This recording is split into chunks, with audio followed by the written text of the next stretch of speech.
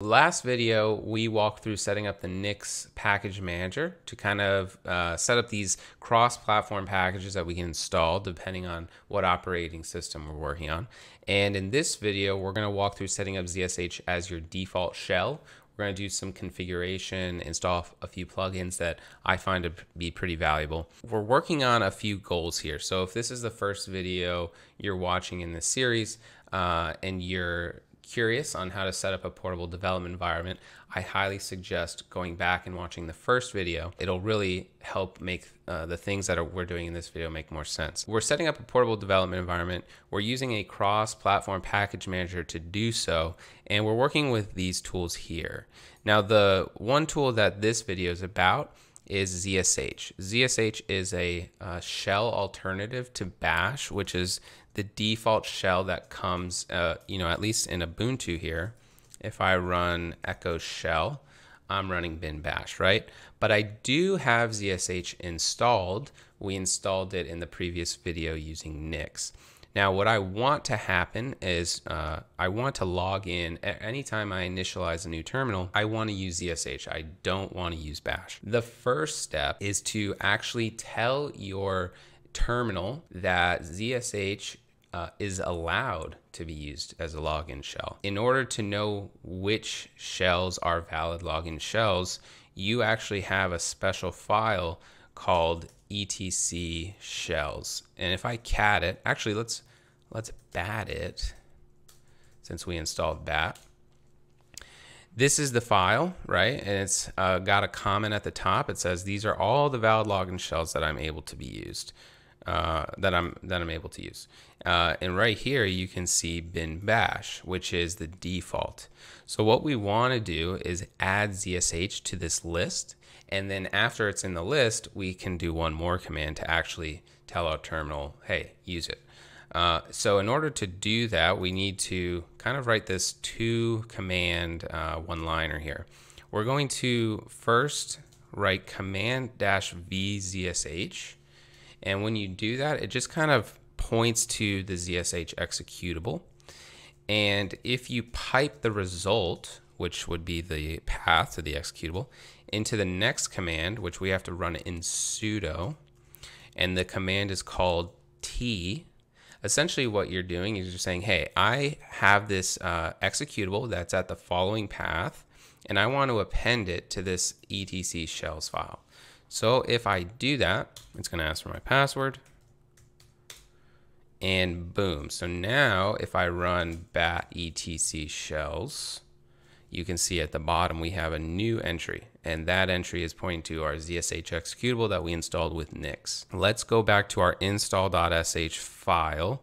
Again, if you haven't seen the first video, one of the goals of this entire series is to write an entire install script, a single install script that can boot up this development environment um, whenever we want it. We have inside of our home directory an install.sh file. And if we open that up in Vim, we have a number of things we're doing here, right? We're installing Nix, we're sourcing it, and then we're installing a bunch of packages. You can see we have BAT down here. We've been using BAT a little bit.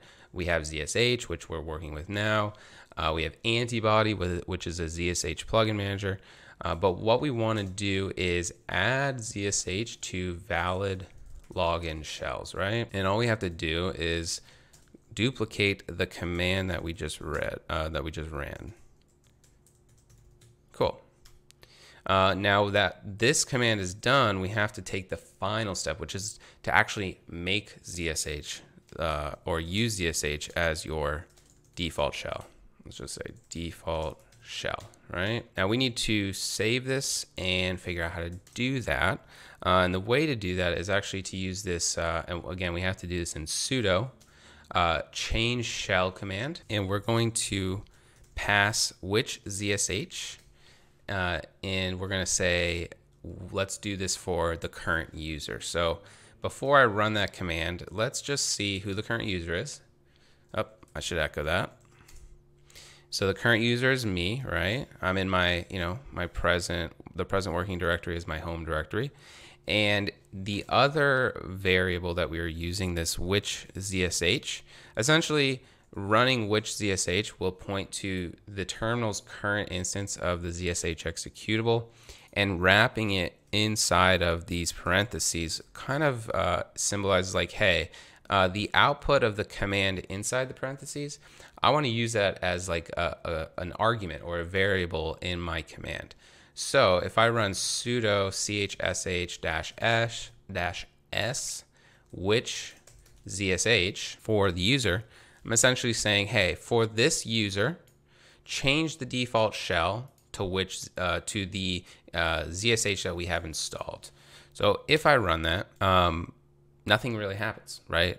Uh, because the next time you initialize a terminal session, you will uh, see ZSH running. So if I echo my shell here, I should still be in bash, that's fine.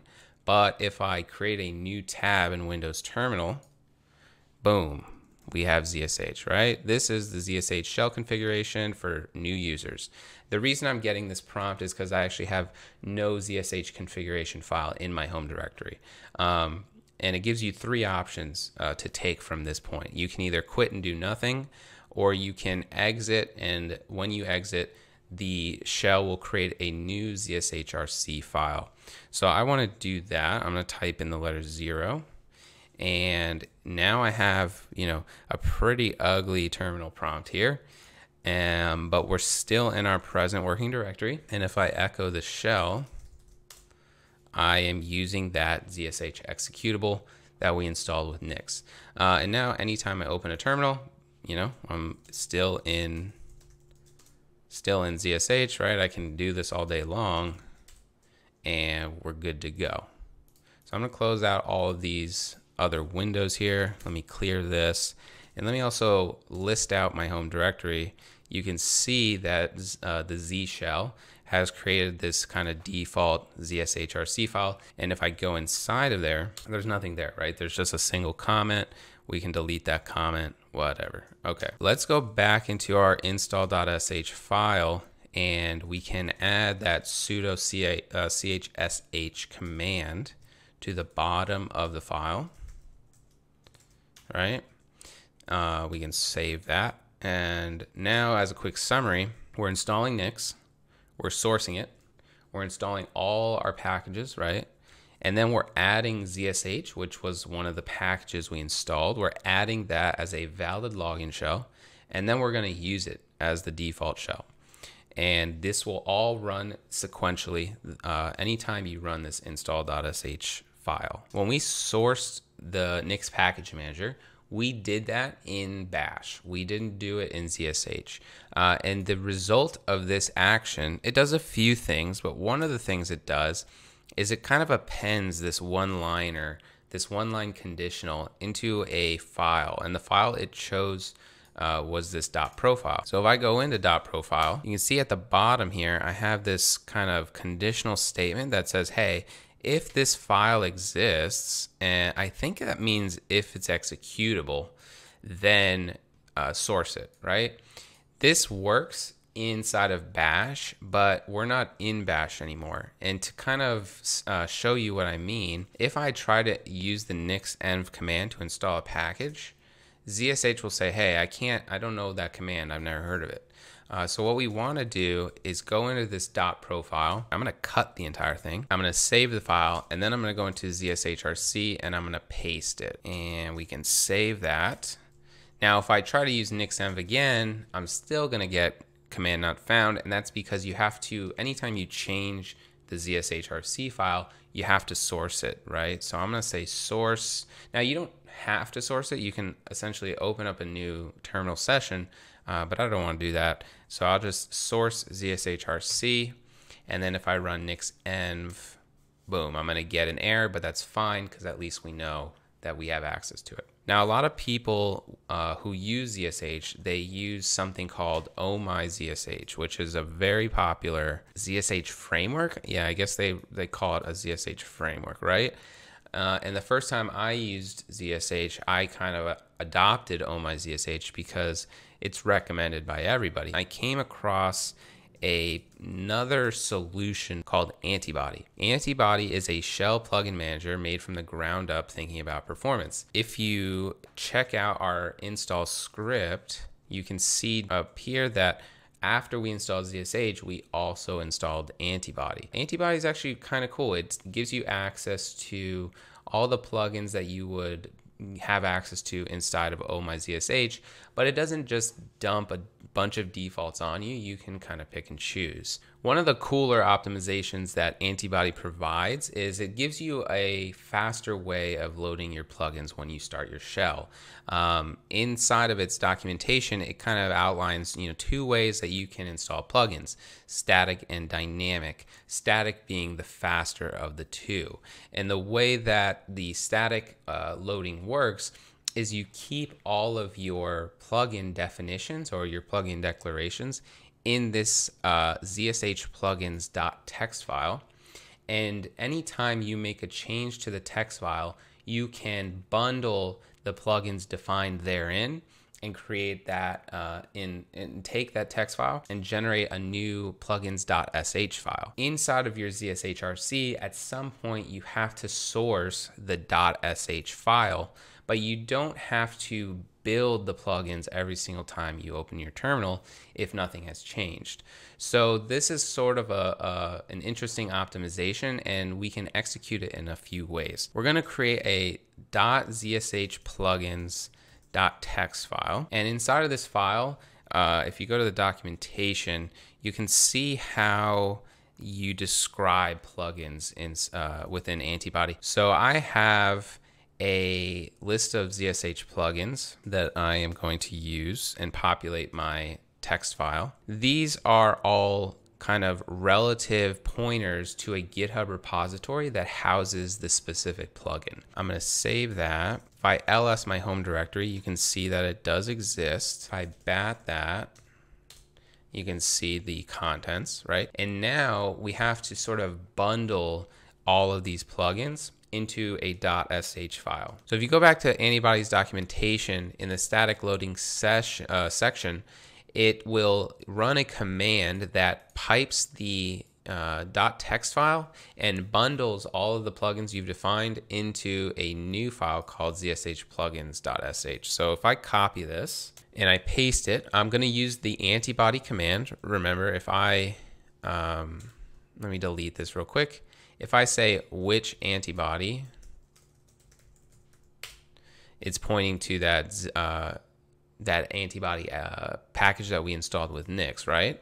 In the first video. So if I run antibody bundle and I'm bundling my text file and I am appending the result into this new file that doesn't exist. Now, if I list my home directory, not only do I have this ZSH uh, plugins.txt file, but I have this new ZSH plugins.sh file. I'm going to open ZSHRC, source ZSH plugins, or we just say source plugins, right?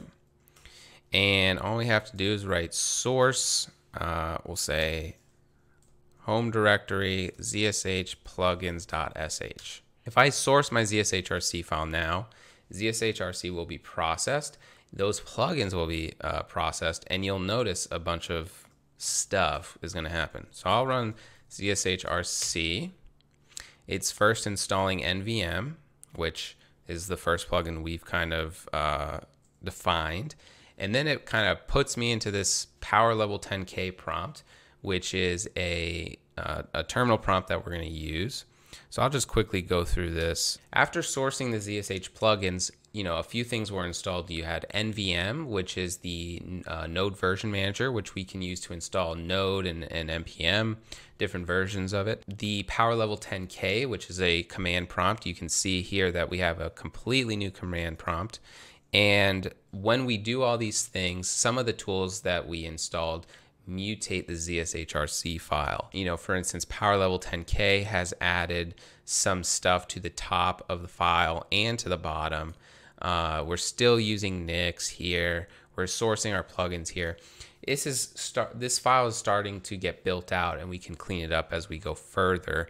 Uh, but the good news is that we have this uh, zsh plugins.txt file, and we bundled all of the declared plugins into a .sh file that was then sourced into our .zshrc file. Now that was a very manual process, but I want you to kind of envision how this would look in an automated world in our install.sh file. Uh, we will most likely have this text file committed to source using git and we can store that along with the rest of our dot files and our install script. Uh, and when we clone that directory down in the future, let's just say, you know, in the next two years, you decide to get a new laptop or a new computer. You have this, uh, all of these plugins defined, and they're stored next to your dot files. They're stored next to your install script, and they live on GitHub. You go to GitHub, you clone the, the repository, and you say, okay, I need to run my install script. Well, install needs to, to bundle these plugins. So let's go ahead and open that script. Uh, you know, we're installing our package manager. We're sourcing our package manager. We're installing all of these packages, including antibody. So theoretically, after this runs, we will have access to the antibody bundle uh, file. So if I go down here and I say bundle uh, ZSH plugins. And all we need to do is run that one command right here, right? Antibody bundle .zsh plugins.txt into zsh plugins.sh. Now the only gotcha here is that this text file has to exist. Uh, and it will exist. In a, in a future video, we're going to work on setting up our dot file so that it does exist and that it's in the right place at the right time so that this install script works. But essentially now we have a pretty uh, a pretty good a pretty healthy automated setup where we're installing a package manager installing a bunch of plugins. Um, we're we're changing our shell. We're using plugins for that shell. So we got a lot of interesting things going on. Now before we wrap up this video I did want to kind of flesh out this ZSH configuration a little bit more. Uh, again most of this configuration is going to be unique to me but um, if you you know want to see how I'm doing certain things, uh, it might be helpful. So we installed a bunch of plugins here and we're already seeing a few of them, right? We have our Powerlevel10k prompt. We've installed NVM, uh, which is Node Version Manager. Now, some of these plugins, well, one in particular, NVM, it requires us to kind of export this NVM dir directory, which helps the tool.